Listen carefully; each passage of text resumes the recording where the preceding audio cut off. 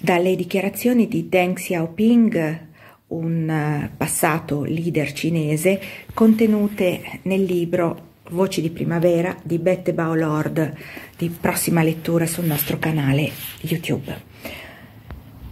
In carcere non venivamo privati della lotta di classe. I detenuti si dividevano in due categorie, politici e criminali comuni. I politici erano controrivoluzionari come me, la feccia della feccia.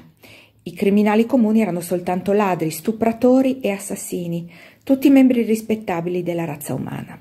Per esempio, c'era un tale che aveva violentato quasi tutte le bambine del suo villaggio e ne avrebbe violentate altre se sua madre fosse riuscita a conservare il posto di giudice del distretto. Permettetemi di essere più preciso, sono sempre parole di Deng Xiaoping. Alcuni stupratori più sfortunati erano classificati anch'essi come criminali politici, perché avevano avuto l'audacia di interferire con la brillante politica del presidente Mao, che consisteva nell'inviare i giovani a imparare dai contadini nelle campagne.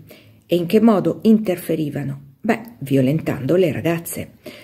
A proposito dello stupro, un argomento di cui un cinese patriottico non parla mai a meno che i colpevoli siano i diavoli stranieri, mi sia permesso dare un consiglio. È meglio violentare il più tardi possibile.